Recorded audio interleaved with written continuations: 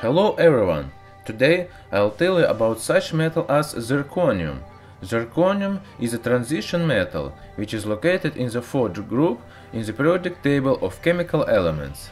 Externally, zirconium looks very similar to titanium, but what makes it different to its zirconium slightly different properties. The density of zirconium is 30% higher than that of titanium. This metal is relatively soft and is easy to forge, and from a chemical point of view, zirconium is very stable. It does not react with most acids, such as the concentrated hydrochloric acid or the concentrated nitric acids. Even if you pass an electric current through the acids and connect zirconium to the anode, the metal will still not dissolve in acid.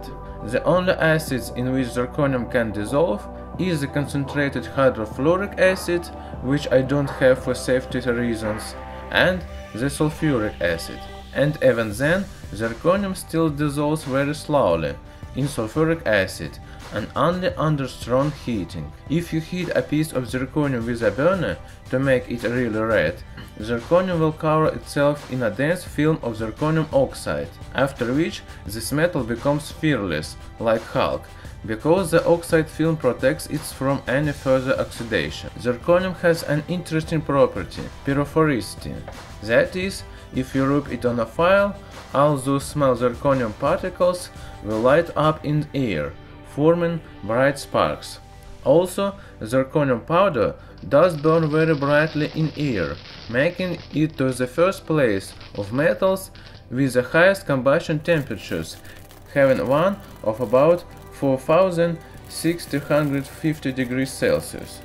At this temperature, the product of combustion of zirconium in air, zirconium dioxide, emits significant amount of light that is used very widely in pyrotechnics and in the old lamps for photography. However, zirconium also has disadvantages. Due to its inability to absorb slow neutrons and its high melting temperature, zirconium is used for the construction of nuclear reactors. In an emergency situation, when the reactor overheating, zirconium may begin to react with water in the reactor, releasing explosive hydrogen, which is exactly what happened at Fukushima in 2011. The released hydrogen caused the explosion of the building with the reactor.